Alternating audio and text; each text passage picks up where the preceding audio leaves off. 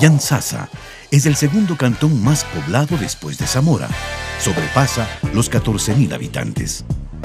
Últimamente, por la demanda, se ha incrementado la construcción de pequeños hoteles. El patronato municipal sabiamente reconoce la dignidad del trabajo manual de su gente. Por eso ha creado una tienda en donde se exhibe y vende la creatividad artesanal.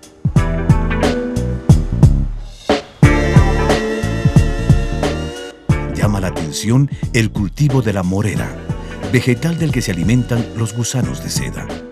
Esta actividad del lejano oriente, ahora por iniciativa privada y con apoyo financiero del ECORAE, está despuntando en los finos tejidos de seda.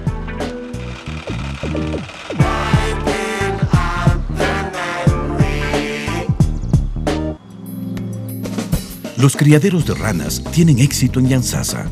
Los turistas tendrán tema para contar el sabor de algo diferente. El consumo de las ancas se incrementa en la localidad, pero sobre todo se la exporta a exclusivos restaurantes de Nueva York.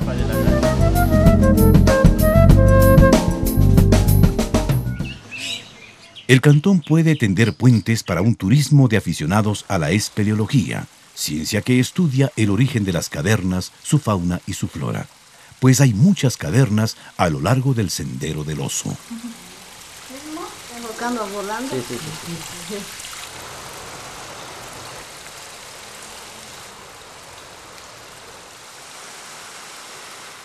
Toda comunidad shuar tiene un ubishin, a la vez sacerdote y médico.